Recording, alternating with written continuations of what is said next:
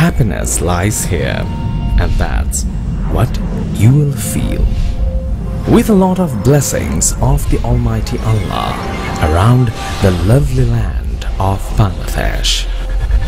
As a symbol of its hospitality, Bangladesh Pharmaceutical Society is very pleased to have the opportunity of being the host of the 13th Commonwealth Pharmacists Association Conference in the year 2015 in Dhaka, Bangladesh.